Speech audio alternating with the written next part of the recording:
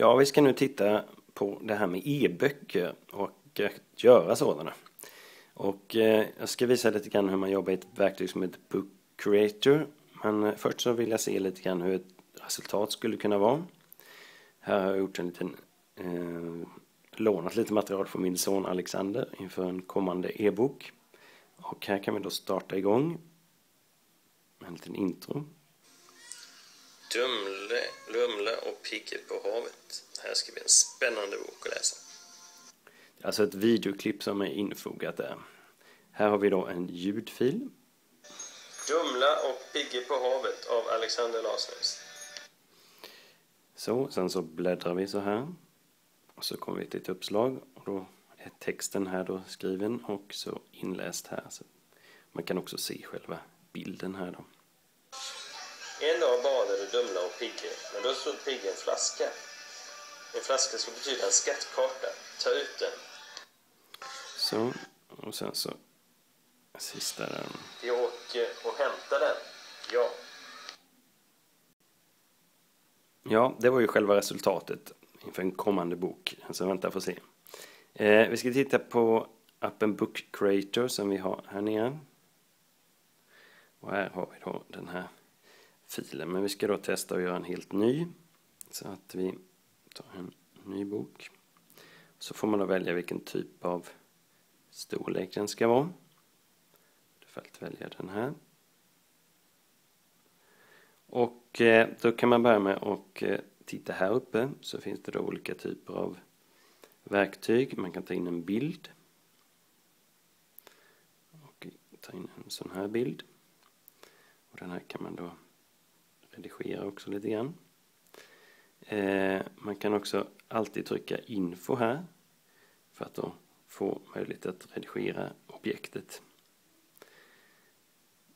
Eh, vi vill ha in text istället. Och då skriver vi hej. Och då kan vi flytta upp den där. Och här får man väldigt mycket fin hjälp eh, när det gäller att sätta den på liksom, bra ställen kan man säga. Vill vi ändra den här rutan så är det då infoknappen igen och här kan vi då göra den större till exempel eller byta font eller vad man nu vill. Eh, och sen så är det bara att bygga på med nästa sida. Eh, man kan då ha ljud här också. Så att då testar vi det också. Vi testar att spela in det här ljudet och eh, det räcker så. Och då trycker vi sådär. Och så får man då en sån här knapp som vi såg också i den färdiga filmen. Där man då kan använda sig av både text och uppspelat, eh, uppspelad text helt enkelt. Ja, sen håller man på sådär. Det är det som är, är liksom eh, grunden i det hela. Det är inte så krångligt. Man kan då öppna den här då i olika eh, läsare. I iBook som är Apples egna lilla sån här ställe att leka med e-böcker på. Men eh, en av fördelarna med den här är att man kan då exportera EPUB-formatet och då kan den visas på må många fler enheter än bara på iPad och Apples produkter. Eh, så eh, på så sätt tycker jag att den är bra. Den är väldigt enkel att, att jobba med och det blir ganska så, så snyggt.